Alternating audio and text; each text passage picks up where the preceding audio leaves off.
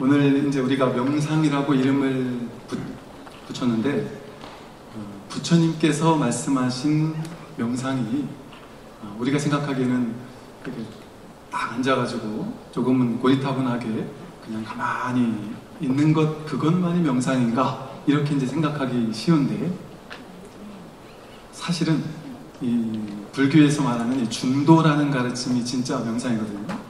근데 이 명상이라는 것은 음, 쉽게 말하면 이렇습니다.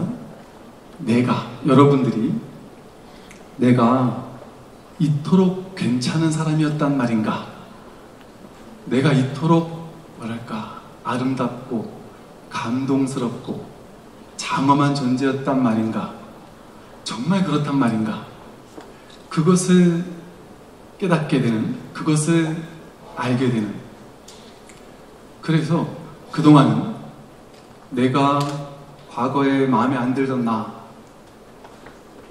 내 인생에서 바꾸고 싶고, 변화시키고 싶고, 마음에 안 드는 것들 투성이었던 그런 나를 보는 것이 아니라, 아, 지금 여기에서 하나도 바꾸지 않더라도 내 인생이 지금은 이렇게 힘들고 깝깝하고 어둡고 자식들은 말을 안 듣고 남편도 마음에 안 차고 그럼에도 불구하고 지금 여기에서 내 인생이 얼마나 눈부시게 장엄한 존재인지 그것을 그저 허용하고 받아들이면서 그 진짜 부처인 자기로 깨어나는 그게 명상이거든요. 그래서 사실은 우리가 명상하면 명상 기법이 있을 것 같고 명상의 방법이 있을 것 같아요. 그래서 그 방법을 열심히 배워서 열심히 갈고 닦고 나면 명상 기법을 열심히 갈고 닦은 결과로 우리는 비로소 어떤 산매를 얻거나 어떤 체험을 하거나 깨달음을 얻거나 행복한 삶이 시작되겠지 이렇게 여기기 쉬운데 사실은 그런 것이 아니고요. 진짜 부처님의 명상은 갈고 닦을 것이 없는 겁니다. 지금의 나를 변화시킬 것이 없는 겁니다. 무위법이라는 말을 들어보셨을 거예요. 유의 조작으로 내 인생을 이렇게 바꾸고 저렇게 바꾸는 그것이 명상이 아니라 이미 본래 이렇게 드러나 있는 내가 정말 본래 부처였구나 이 사실을 자각하는 그래서 지금 여기 이미 드러나 있는 이 존재의 실상에 어, 다 닿는 그게 명상이에요. 그래서 사실은 아, 좋은 소식이죠. 희소식이죠. 뭐가 희소식이냐면 열심히 갈고 닦는 것만이 어떤 기도, 수행, 명상의 전부인 줄 알았는데 아, 한 생각 돌이키는 겁니다. 부처님의 어떤 중도라는 말처럼 그 모위법이라는 말처럼 불이법이라는 말처럼 한 생각 탁 돌이키고 나면 문득 이 자리가 그 자리구나. 아, 여기에서 내가 내가 그렇게 이상한 사람이 아니었구나. 내가 그렇게 괴로운 사람이 아니었구나. 이런 사실에 눈 뜨는 겁니다. 우리가 그런 말 들어보셨을 겁니다. 불교의 핵심, 수행의 핵심, 부처님 가르침의 핵심은 중도다 이런 말을 들어보셨을 거예요. 그리고 그 중도는 어떻게 실현되느냐? 중도를 구체적으로 말하면 뭐냐라고 하면 지관 혹은 정해 이런 말을 들어보셨을 겁니다. 지관이 불교 명상의 핵심이에요. 근데 이제 지가 뭐냐면 멈출 지자거든요. 관은 볼 관자입니다. 멈추고 본다는 거죠. 이것만 하면 중도 수행이 전부 다 되는 거죠. 이게 불교 명상이거든요. 무엇을 멈추고 무엇을 보느냐, 이게 중요합니다. 아주 심플해요. 무엇을 멈춰야 되는 것인지, 무엇을 봐야 되는지, 이 사실을 확인하는 것, 그게 명상입니다. 그러면, 무언가 나쁜 게 있으니까 그걸 멈추라고 하는 거 아니겠어요? 우리에게서 본래 봐야 할 것을 보지 못하고 내가 망상을 일으켜서 잘못된 것을 보고 있다라는 겁니다. 그래서 그렇게 내식, 내식대로 분별 망상을 가지고 허망한 것을 보던 것을 멈추고 본래 있는 본래 드러나 있는 참된 진실의 실상을 보라는 거예요. 그러면 아까 놀랍다고 말씀드렸는데 부처님 가르침에 보면 법화경에 제법 실상이라는 말을 들어보셨을 겁니다. 제법은 이 삶 그대로 나라는 존재 그대로 이 우주 법계에 이렇게 펼쳐져 있는 이대로를 제법이라고 하고요. 지금 이대로가 고스란히 허상이 아니라 실상이라는 겁니다. 그래서 옛날 우리 임재 스님은 입처계진 이런 말을 하셨죠. 입처계진 수처작주 그래서 입처 자기가 서 있는 그 자리가 참된 진실의 자리다 이런 말입니다. 총목보리라고 도고 스님 같은 분은 내가 보는 것이 그대로 전부 다 진리를 보고 있다. 경봉 스님 같은 분께서는 목격도존 이랬습니다. 도를 우리가 늘 목격하고 있어요. 지금 우리의 이 삶이 삶은 이대로 완전한 거예요. 그런데 이것이 부처님 가르침이거든요. 예를 들면 이와 같습니다. 이렇게 완전한 인생이 내 눈에는 왜 완전하지 못하게 보일까요? 여러분이라는 완전한 한 분의 부처님께서 그동안 나는 내 인생이 왜 이렇게 못난 줄 알고 살았고 내 인생은 왜 이렇게 고통스러운 줄 알고 살았을까요? 남들과 비교해서 나만 왜 이렇게 힘들고 못난 것 같았을까요? 이 말을 잘 들어보십시오. 이 세상은 밤과 낮이 있어요. 봄, 여름, 가을, 겨울이 있습니다. 들숨이 있으면 날숨이 있습니다. 구름은 흘러가고요. 파도는 치고 바람은 불어오고 소나무도 있고요. 잣나무도 있고요. 꽃다지도 있습니다. 사슴도 있고 토끼도 있죠. 그런데 이 모든 이 우주 법계에 있는 이 모든 것들에 대해서 우리가 머리로 분별을 하면 좋거나 나쁘다. 나는 봄은 좋고 여름은 싫어. 낮은 좋지만 밤은 싫어. 이렇게 사람은 머릿속으로 분별해서 생각을 하는데요. 그것에 이렇게 꼬리표를 붙이거든요. 좋다거나 나쁘다고. 그런데 진실은 진실을 있는 그대로 보면 여러분 낮은 옳고 밤은 틀렸을까요? 들숨은 나쁜 거고 날숨은 좋은 걸까요? 봄, 가을은 좋은 건데 여름이나 겨울은 나쁜 걸까요? 좋고 나쁜 게 아닙니다. 그냥 있는 그대로죠. 들숨이 없으면 날숨이 있을 수가 없어요. 들숨과 날숨은 그냥 연기적인 관계로 서로 둘이 아닌 자연스러운 있는 그대로일 뿐입니다. 이처럼 본래 봄, 여름도 들숨과 날숨도 낮과 밤도 판단할 수 없고 분별할 수 없어요. 그냥 그런 거거든요. 그런데 우리 인생도 똑같습니다. 내 삶도 이와 마찬가지입니다. 어떤 사람은 내 인생에 암담한 겨울이 왔을 때 나는 왜 이렇게 괴로울까 하고 좌절하고 절망하면서 내 인생은 정말 나락으로 떨어진 시궁창에 빠진 인생이야 하고 좌절하기도 하고요. 또 좋은 일이 생겼을 때는 봄이 왔구나, 여름이 왔구나 하듯이 너무나 행복해 하거든요. 그런데 낮이 있으면 밤도 있어야 하듯이 우리 인생에 어두컴컴한 밤이 있으면 반드시 낮도 있고요. 낮이 있으면 밤도 있습니다.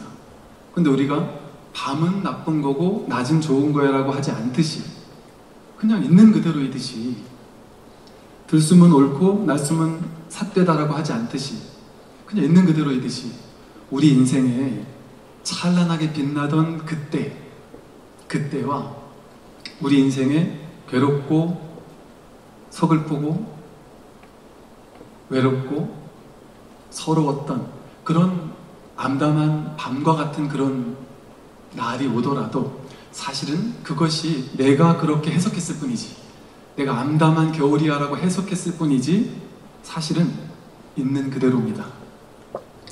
어, 제가 이제 유튜브로 이렇게 영상을 올리다 보니까 정말 많은 분들이 이렇게 이메일로 고민 상담도 해주시고 또 본인들의 삶에 대한 이야기들을 또 해주시고요. 그런데 어, 요즘 들어 많은 사람들이 정말 부처님 가르침이 이렇게 위대한지 몰랐다라고 하면서 부처님 가르침을 진지하게 공부를 했더니 지난 과거에 내가 내 인생에 정말 암담한 겨울이라고 느꼈던 그런 이야기들을 하세요. 근데 들어보면 와 어떻게 이런 삶이 있을 수 있을까? 이렇게까지 괴로운 삶이 있을 수 있을까? 놀라울 정도로 정말 참담하다 못해 어떻게, 어떻게 저런 상황에서 잘 살고 계셨지? 싶을 정도로 너무나 고통받는 사람들이 많다는 걸 느꼈습니다. 그런데 더 놀라운 것은요. 이런 식이에요. 어떤 20대 청년이 대학교 졸업하고 나서 취직을 못하고 어떤 친구는 원서를 100번을 정말 넣었다 그래요. 아무리 원서를 내도 다 떨어지니까 완전 자존감이 바닥을 쳐서 아, 이 세상에 나를 받아줄 것은 아무것도 없구나. 막 우울감과 절망감이 오면서 부모님이 무슨 말만 한마디 해도 이게 막 화가 나서 막 화를 버럭버럭 내면서 내가 살 의미가 있을까? 이렇게 막 최악의 괴로움 속에 허덕이다가 그러다가 문득 보니까 어머님께서 평소에 이렇게 법문을 늘 듣고 있던 것을 옆에서 보고는 뭔가 지푸라기라도 잡고 싶은 심정으로 법문을 듣기 시작했어요. 그 전에는 이 친구는 어머니가 법문을 열심히 듣는 것을 보고 엄마가 요즘에 좀 이상하다. 뭐 저렇게 또 이상한 데 하나 빠졌나 보다 이렇게만 생각을 했다는 거죠. 그런데 괴로움이 왔을 때 자신이 전혀 한 번도 가보지 않은 길, 지푸라기라도 잡고 싶은 심정으로 한 번도 시도해보지 않았던 것을 시도하기 시작합니다. 그래서 많은 사람들이 이 부처님 법문을 듣고 마음 공부를 하고 명상을 하고 이렇게 하는 사람들을 너무 많이 봤고요.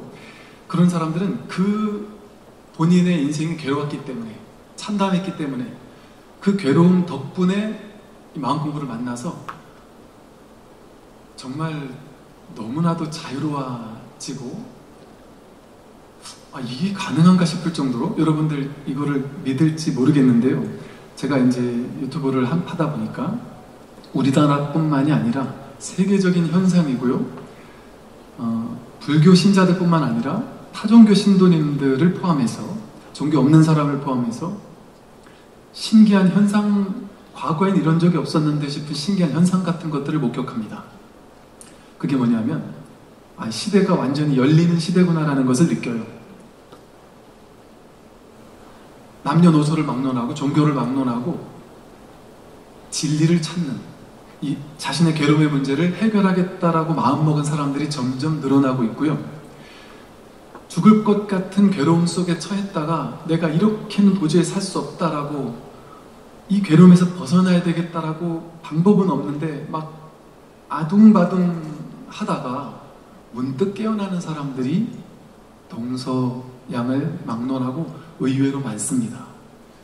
서양의 뭐 에카르트 톨렌이 바이런 케이티니 하는 사람들이 깨달은 성자, 현자라고 불리는데 그 사람들이 깊은 절망과 괴로움 속에서 몇 년, 몇십 년을 괴로워하다가 문득 깨어났거든요. 그 괴로움에서 이렇게는 더 이상 살 수 없다 하고 이 괴로움에서 벗어나야 되겠다라는 간절함, 그 간절함 하나만을 품고 있다가 문득 깨어나는 것들을 경험합니다. 불교에서 말하면 독각이라고 할 수 있을 거예요. 그것이 선불교에서 말하는 발심과 똑같습니다. 발심이 뭐냐면 석가모니 부처님께서 말씀하신 사성제와 똑같습니다. 괴로움이라는 성스러운 진리, 이 괴로움이라는 것을 직접 목격하고서 괴로움 이것을 난 도저히 감당할 수 없다. 여기서 나는 벗어나야겠다라는 간절한 마음을 품게 됩니다. 그것을 발심이라고 하고 발보리심이라고 하고 금강경에서 말하는 발 안욕 따라 삼맥 삼보리 심이에요. 선불교에서는 간절한 발심만 있으면 문득 깨어난다라고 하거든요. 그런데 머리로 알려고 해서는 안 된다 이렇게 해요. 모를 뿐 하는 마음으로 간절한 발심을 하게 됐을 때 문득 깨어난다고 하는데 그러한 일들이 꼭 불교란 이름을 쓰지 않더라도 지금 시대적인 현상처럼 일어나고 있습니다. 부산에 어떤 거사님 이런 분들이 너무 많아요. 여러 명이 저를 찾아왔던 분들도 상당히 많은 분들이 계셔서 저도 깜짝 놀랐습니다. 너무 괴로웠던 나머지 막 좌절 절망을 하다가 문득 깨어난 사람들이 요즘에 왜 그렇게 많은지 모르겠어요. 신기할 정도입니다. 그런 사람들의 삶을 보면 전부 다 어떤 것이 있었느냐면 괴로움이 있었습니다. 괴로움에서 몸서리치는 그 순간을 온몸으로 겪어야 했던 그 시절 인연이 있었던 거예요. 그것이 그 사람을 살렸던 겁니다. 우리는 밤은 싫고 겨울은 싫어라고 생각했는데 사실은 밤이나 겨울이라고 싫은 것이 아니에요. 있는 그대로일 뿐이지. 여기서 이제 힌트를 얻어야 되는데요. 우리는 세상을 보면서 눈으로 보고 귀로 소리를 듣고 내가 삶을 경험하면서 눈 깊고 혐없듯이 색성향 미촉법을 접촉하자마자 보자마자 좋다거나 싫다라고 분별을 하거든요. 대상을. 그래 놓고는 좋은 것은 더 갖고 싶어서 집착하고요. 싫은 것은 밀쳐내고 싶어서 길을 씁니다. 모든 것이 마찬가지죠. 좋은 건 갖고 싶고 싫은 건 버리고 싶어요. 싫어하고 미워하고 싫은데 자꾸 오면 화가 납니다. 이게 괴로움의 시작이에요. 이게 탐진치 삼독입니다. 즉 삶은 이대로예요. 그냥 밤과 낮이 좋거나 나쁜 게 아니듯이 내 인생의 성공 실패 똑같은 겁니다. 모든 삶은 둘이 아니에요. 다르지 않아요. 내가 돈을 10억을 벌었, 벌었던지, 내 전 재산을 날렸던지, 사실은 그 근본은 다르지 않습니다. 다르지 않은 게 하나가 있어요. 겉모양을 쫓아가면 돈을 번 것과 돈을 잃은 것은 다르거든요. 그런데 다르지 않은 하나를 우리가 목격할 수 있다면, 직시할 수 있다면, 삶의 내용물에 쫓아가지 않을 수가 있어요. 이미지 모양을 쫓아가지 않을 수가 있습니다. 삶의 진실을 마주할 수가 있게 됩니다. 무엇이 진실을 마주하는 것이냐? 지금 눈앞에 이미 진실은 100% 드러나 있습니다. 그런데 무엇이 그 진실을 가리느냐? 보자마자 좋다거나 싫다라고 해서 대상을 파악해서 좋은 건 취하려고 하고 싫은 건 버리려고 하는 마음, 그걸 취사 간택심이라고 부릅니다. 취하거나 버리려고 하는 마음 때문에 취하려고 했는데 내 걸로 가져야 되는데 갖지 못했을 때 괴롭고요. 내 인생에서 없애버려야 되는데 없어지지 않고 자꾸 나타날 때 괴롭습니다. 화가 나고요. 이 두 가지에 집착할 때 괴롭습니다. 그러면 어떻게 하면 내가 취하지 않을 수, 취하는데 고집하지 않을 수 있고 버리려고 집착하지 않을 수 있을까요? 너무 간단해서 이건 수행이라고 말할 수조차 없습니다. 불교는 반야심경에서 말하는 반야지혜가 무분별지를 반야지혜라고 하거든요. 무분별지가 뭐냐 하면 분별지의 반대죠. 분별지는 좋은 것이라고 내가 판단한 것을 더 가지려고 집착하는 것. 싫다고 내가 판단한 것을 밀쳐내려고 애쓰는 것. 그게 분별의 지식입니다. 근데 우리는 이 분별의 지식만을 가지고 살았다 보니까 내 인생의 완전성을 보지 않고 봐야 할 진실을 보지 않고 내 생각으로 해석한 내 인생 거기에 사로잡혀서 가로막혀서 스스로 무승자박이라고 해서 포승줄로 그 누구도 묶지 않았는데 내가 내 분별심을 가지고 내가 나 자신을 묶은 것이죠. 그러면 어떻게 하면 되느냐면 무분별지, 무분별심, 반야 지혜를 얻는 것 그게 중도의 길인데요. 중도는 너무나도 단순합니다. 유의 조작하는 게 아무것도 없어요. 해야 될 것이 아무것도 없습니다. 하던 것을 멈추면 될 뿐이지. 파사현정이라는 말은 삿된 것을 파하면 저절로 바른 것은 이미 드러나 있다는 소리입니다. 그럼 무엇을 파해야 될까요? 깨뜨려야 될까요? 바로 이 분별심과 취사 간택심입니다. 여러분들은 지금 내 인생 마음에 안 들잖아요? 마음에 안 드는 구석이 있잖아요? 지금 이 순간을 이대로 100% 완전하게 받아들이지 못하잖아요? 돈도 좀 더 벌었으면 좋겠고, 남편도 나에게 조금 더 잘했으면 좋겠고, 자식 성적도 조금 더 좋았으면 좋겠고, 자식들이 나에게 용돈도 조금 더 줬으면 좋겠고, 몸도 조금 더 건강했으면 좋겠잖아요? 그런데 그러한 기대감, 그러한 추구심이 있는 동안은 내가 만들어 놓은 추구심과 지금 현재의 나 사이에 갭이 벌어지기 때문에 갭만큼 괴로울 수밖에 없습니다. 그런데 우리는 내가 원하는 그 추구심을 딱 목표를 정해놓고 그걸 이룰 수 있을 거라고 믿어요. 왜 그러냐면 내가 내가 목표한 바를 달성할 수 있어. 내가 노력하면 될 거야. 내가 노력하면 돈 벌 수 있을 거야. 내가 노력하면 더 건강해질 수 있을 거야 라고 굳게 믿고 있습니다. 그런데 부처님 가르침은 연기무아라는 말을 들어보셨을 거예요. 연기무아. 이 연기무아라는 말이 제 시간이 많지 않아서 간단히만 말씀드리면요. 내가 있는 게 아니에요. 이 세상은 그저 인연 따라 생겨나고 사라지고 생겨나고 사라지는 그 뿐입니다. 이 몸도 오고 가는 거예요. 생겨나고 인연 따라 생겨나고 사라지고요. 성격도 생겨나고 사라지고 좋은 일도 나쁜 일도 그저 생겨나고 사라질 뿐입니다. 인연생, 인연멸, 인연가합이에요. 그거는 인연 따라 생겨나고 인연 따라 사라지는 것은 진실이 아닙니다. 영원한 것이 아니에요. 진짜 나라고 할 수 없습니다. 그래서 온 개공이라고 했던 것이 몸, 느낌, 생각, 의지, 의식 이건 자기가 아니에요. 이 몸을 나라고 생각하니까 내 뜻대로 된다고 여겨서 내 뜻대로 내가 원하는 돈을 벌면 행복해질 거야. 여러분, 이 세상 모든 사람들이 다 부자가 되고 싶거든요. 근데 부자가 되지 않습니다. 원한다고 다 되지 않아요. 왜? 내 뜻대로 되는 것이 아니라 인연 따라 되거든요. 아무리 되고 싶지만 죽도록 노력했는데 안 되려고 하면 아무리 별의별 짓을 다 해도 안 되거든요. 그런데 되려고 하면 이상하게 시절 인연이 막 받쳐주고 주변 분위기가 막 온 우주 전체가 나를 막 돕는 것처럼 느껴질 정도로 일이 술술 풀릴 때가 있습니다. 그게 자기가 한 걸까요? 이 몸이 내가 아니라 이 내가 살고 있는 이 연기적으로 연결되어 있는 이 삶 전체가 자기거든요.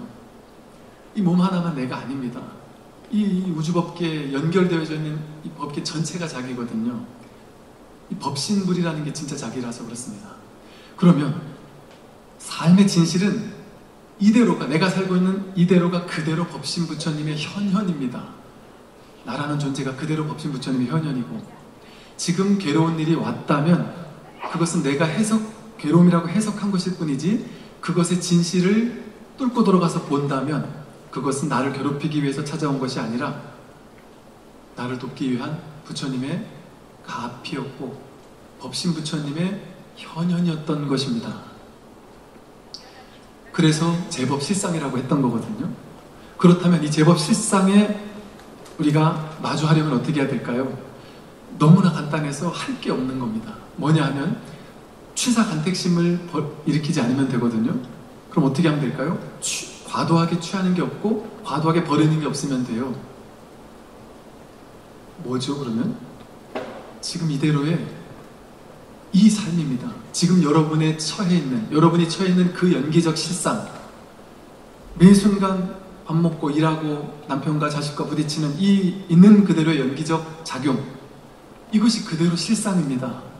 그런데 단 하나 자신의 생각, 분별, 망상이 남편은 마음에 안 들어, 자식은 변해야 돼, 너희들은 나한테 잘해야 돼, 돈도 더 많아야 돼, 나는 더 건강해야 돼 하고 끊임없이 생각을 가지고 중계방송하는 거예요, 내 인생을. 있는 그들의 완전한 실상을 보지 않고 분별해서 만들어 놓은 자기 세계, 자기가 허망하게 그림 그려놓은 생각의 허상의 이미지를 그려놓고 그 이미지 속에 들어가서 살고 있는 겁니다. 그러니까 진짜 실상을 한 번도 본 적이 없어요. 눈앞에 드러나 있는데도. 분별이라는 자기 생각이라는 필터를 가지고 세상을 자기식대로 그림 그려서 만나기 때문에 그래서 남편과 평생을 살지만 진짜 남편은 한 번도 만난 적이 없습니다. 내가 내 마음속에 이미지로 그림 그려놓은 남편만 데리고 사는 거예요. 진짜 남편은 한 번도 못 만난 채 자식도 마찬가지죠. 삶 전체가 그러합니다. 그러면 진짜 생생한 삶을 만나려면 어떻게 되느냐면 지금 여기 내 인생에 벌어지고 있는 이 삶을 있는 그대로 허용하고 받아들이고 완전히 수용할 수 있어야 됩니다. 그런데 내가 삶을 수용하는 게 아니에요. 본래 수용되어 있다라는 사실에 깨어나는 겁니다. 우리는 본래 수용되어 있잖아요. 아픈 사람은 지금 이미 아프, 아프고 있어요. 돈 없는 사람은 이미 돈이 없 고 있어요. 그게 수용되어져 있습니다. 생각이 그걸 거부하고 싶으니까 문제지. 이 생각이 방해하지만 않는다면 삶의 진실이란 이렇게 드러나 있습니다. 괴로운 삶으로, 즐거운 삶으로, 지금 이대로의 존재로서 그대로 100% 드러나 있습니다. 이 펼쳐져 있는 삶을 완전히 흡수해서 받아들이는 것이 명상이에요. 그러니까 이 명상은 내가 억지로 조작해서 만들어내는 게 아닙니다. 특정한 명상 상태를 만들어내는 게 아니에요. 이미 있는 이 완전한 상태, 제법 실상이라는 총목벌이라고 하는 입척해진의 이 진실에 분별을 멈춘 채, 지관, 분별을 멈춘 채, 생각을 멈춘 채 그냥 보는 겁니다. 생각을 가지고 보는 게 아니라 그냥 보는 겁니다. 여러분들이 명상하고 앉아 있을 때요. 나는 남자야, 나는 여자야, 나는 돈이 많아, 나는 몇 살쯤 됐어? 이런 생각 있습니까? 그 생각이 없어요. 명상하고 있을 때는 그냥 아무것도 없어요. 한 생각도 일어나지 않아요. 고요합니다. 내가 몇 살인지도 모르겠어요. 남자인지 여자인지도 모르겠어요. 그냥 텅 빈 고요함이 있습니다. 그러다가 문득 한 생각 일으킬 때만 그 생각과 동시에 남자구나, 여자구나, 난 몇 살이지, 난 몸이 아프지, 나는 병이 있지, 언젠간 난 죽겠지. 이렇게 생각이 일어날 때만 그걸 따라가잖아요. 그 말은 내가 남자다 하는 것도 진실이 아니라 생각입니다. 내가 몇 살이 하는 것도 진실이 아니라 생각입니다. 왜? 그 생각이 없으면 그런 일이 없거든요. 모든 것이 나, 나는 태어났고 몇 년을 살았고 살다가 죽을 거야라는 건 생각입니다. 그건 진실이 아니에요. 이 몸이 나야라는 것도 생각입니다. 명상을 통해서 우리는 이 모든 것들이 내가 그림 그려놓은 나라는 존재가 이 세상에서 이렇게 살고 있어라는 것이 전부 다 허상이었구나라는 사실에 눈뜨게 됩니다. 그래서 이 텅 빈 아무것도 아닌 생각 이전으로 돌아가게 됩니다. 본래 자기의 본성으로, 본래 자기의 진실로 돌아갑니다. 그 자리로 돌아가려면 간단하게 할 수 있는 생활 명상이 뭐가 있을까요? 삶을 통째로 허용하는 겁니다. 통째로 수용하고 받아들이는 겁니다. 마음에 안 드는 부분까지를 나는 알 수 없거든요. 이 괴로움이 내 미래에 나를 오히려 도와줄지 세용지 말한 말처럼 어찌 알겠습니까? 나는 알 수 없다라는 사실을 인정하는 거예요. 오늘 잠깐 동안만 그 잠깐 명상을 한번 해보겠습니다. 잠깐 눈을 한번 감아 주시고요. 온몸의 힘을 최대한 빼보십시오. 완전히 이완하고 푹 쉬어보십시오.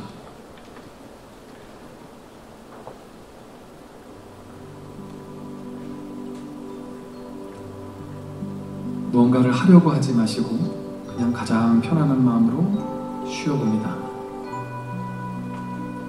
마음속으로 잠시 합장을 하고 마음속으로 따라 합니다. 과거에 실수하고 잘못한 나 자신을 용서합니다. 타인과 비교하며 괴로워한 나 자신을 용서합니다.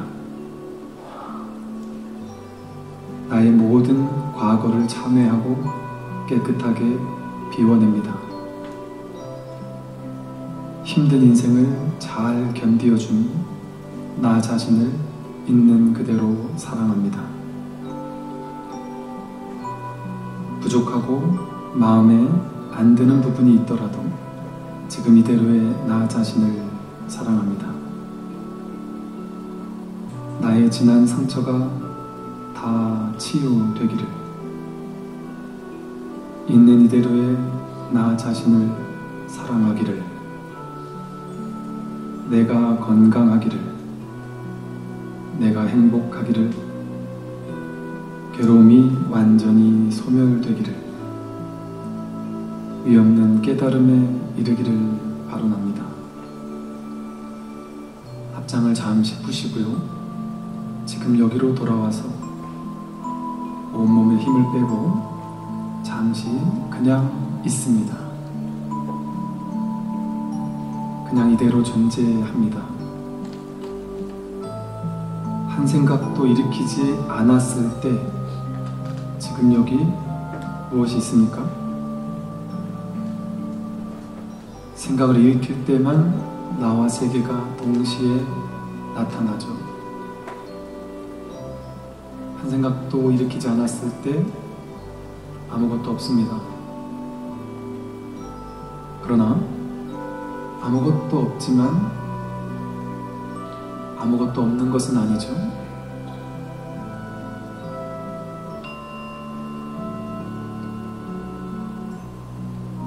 종소리라고 이름 붙인 이 소리 여기에서 소리를 빼고 그냥 이것과 함께 있어 보십시오.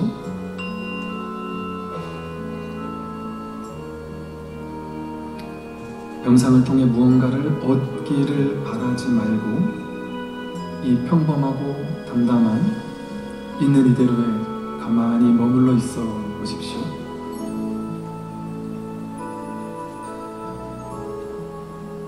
삶을 있는 그대로 허용하고 내 뜻대로 삶을 통제하려고 하지 마십시오.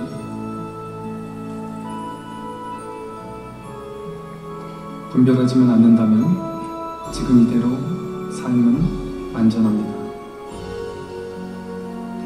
우리 모두는 지금 이대로 천진한 본래 부처입니다. 진정한 나는 누구일까요? 지금 이 순간 나의 본래 면목은 무엇일까요?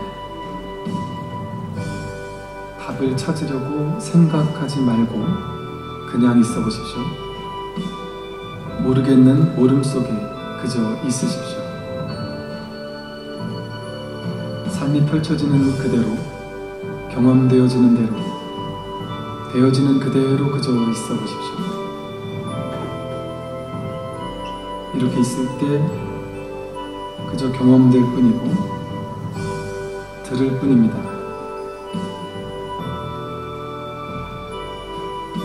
텅 비어 고요할 뿐입니다. 이 텅 비어 고요한 위로 세상 모든 일들이 지나가죠. 생각도, 느낌도, 성공도, 실패도, 삶도 죽음도 그저 왔다 갈 뿐입니다. 진정한 당신은 왔다가 가는 것이 아닌 그 모든 일들이 일어나는 바탕입니다. 이 텅 비고 고요한 배경, 거기에 잠시 머물러 있어 보십시오.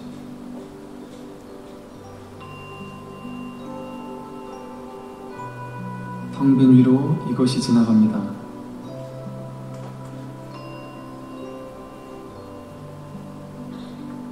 이 소리와 나는 둘이 아니죠. 사실은 이 소리와 내가 둘이 아니라 하나임을 느껴봅니다.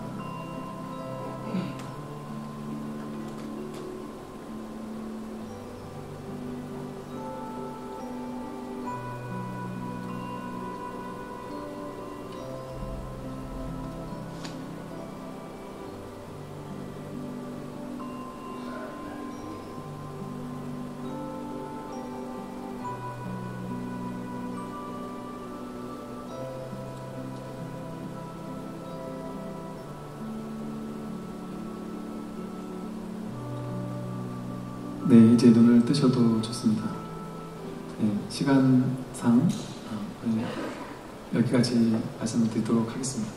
들어주시느라고 너무 고생 많으셨습니다. 감사합니다.